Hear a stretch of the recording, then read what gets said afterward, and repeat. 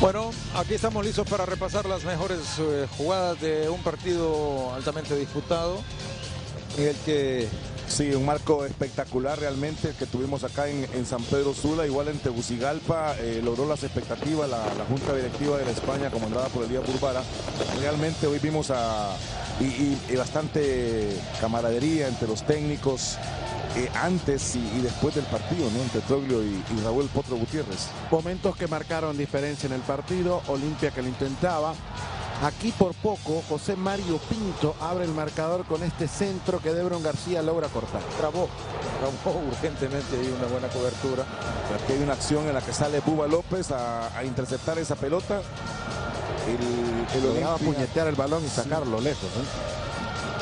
Sí, eh, hoy, hoy, no tuvieron mucho eh, trabajo los porteros como el domingo pasado lo tuvo Buba López. Aquí hay una acción en la que tiene que salir a pues pega la pelota ahí a Edwin aproximaciones, ¿no? Eh, pero salvadas, salvadas no hubo. Aquí queda solo en el área Jerry Benson su cabezazo a la posición del portero. El España lo intentó con estas transiciones, era Jason Mejía el que hacía el recorte hacia adentro y trataba de encontrar puerta con este remate que terminaba yéndose arriba. Se buscaban. Creo que España... por fuera. Eh, mira, uno contra uno. Esto lo buscaron permanentemente hasta sacar el centro, pero eh, son centros con ventaja para, para, un portero que maneja muy bien el juego aéreo. Sobre todo se buscó mucho la banda derecha con Kevin Álvarez, a ver si le podía ganar en los duelos ahí a, Javier Portillo.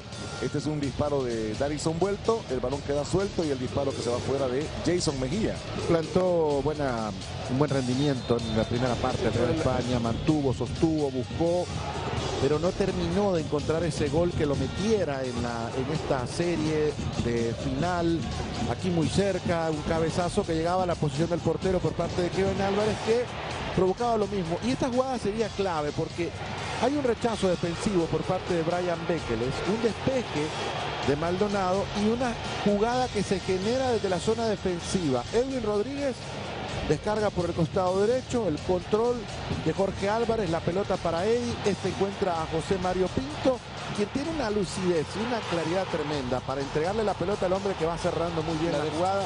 La decisión. A un Jerry Benzo, sí, la decisión, un Jerry Benzo que define con una gran frialdad. Sí, la decisión muy buena porque es el, una una asistencia este, limpia, perfecta. Es que el, el, acompañamiento que está llevando Jerry Benson es muy bueno. Vamos a ver este centro y aquí la ganaba bien el portero Mengíbar. Muy difícil para que pueda perder esas pelotas en el juego aéreo. Después otra, otro disparo ahí de Edwin Rodríguez. Rechaza medias ahí el portero Buba López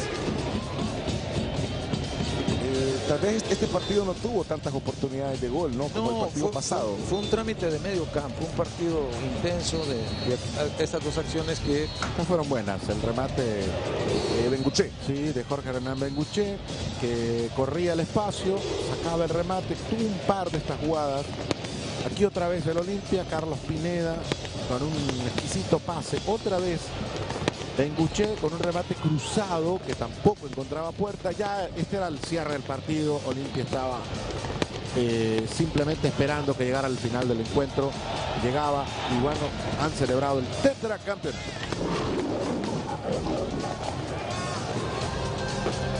Bueno, ahí seguimos con los festejos después de la explosión que marca ese gol de Jerry Benson que fue suficiente para que el Olimpia pudiera derrotar a la España con un global de 3 a 0 de visita, barrió la serie, le gana los dos partidos al Real España, que fue el, mejor equipo en puntuación en, las vueltas.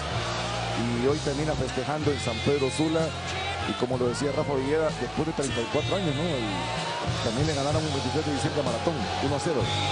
Sí. gol de Juan Carlos Espinosa, quedó ahí para la generación nuestra por, la, por la época.